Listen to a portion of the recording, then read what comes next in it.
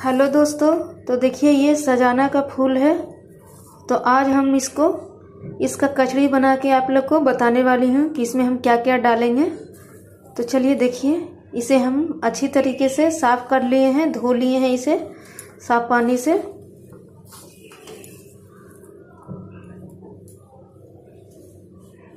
तो देखिए, इसमें हम बेसन लिए हैं और इसमें दो चम्मच भर हम सूजी लेंगे।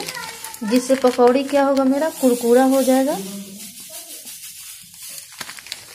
देखिए, ये बेसन और सूजी लिए हैं हम फूल के साथ। और यहाँ देखिए, ये पिसा हुआ लहसुन है, नमक है, हल्दी पाउडर है, लाल मिर्च है, और ये कूटा हुआ गोलकी है, दस दाना गोलकी का है।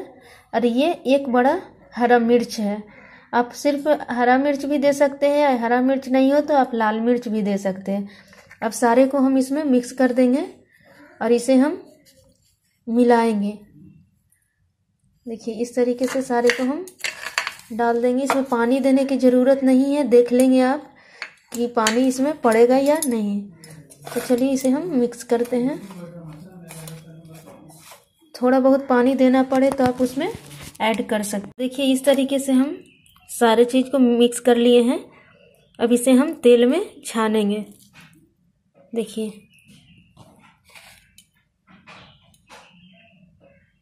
तो देखिए, मेरा तेल गर्म हो चुका है। इसे हम गर्म कर लिए हैं। तो अब इसमें हम कचड़ी को अब जिस शेप में इसे बनाना चाहें, अब बनाएँगे। देखिए तो मैं इसे थोड़ा हल्का चौला करके डालूँगी। गैस का फ्लेम ज़्यादा नहीं करेंगे। धीमे आँच पे इसे हम पकाएँगे। सारे को हम इस तरीके से डाल दिए कढ़ाई में। अब इसे हम पलट देंगे कि दूसरी तरफ़ भी ये अच्छी तरीके से पक जाए। देखिए, अभी कलर और आएगा।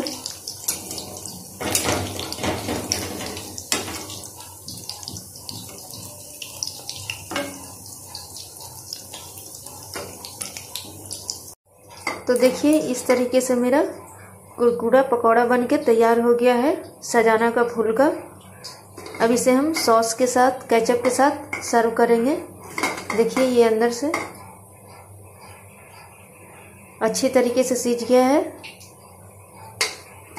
तो आज के लिए बस इतना ही। वीडियो देखने के लिए थैंक यू अगर वीडियो पसंद आए तो लाइक कीजिए सब्सक्राइब कीजिए और कमेंट्स कीजिए कि आप ट्राई किए कि नहीं और मेरा पकौड़ा आप लोग को कैसा लगा। क्यों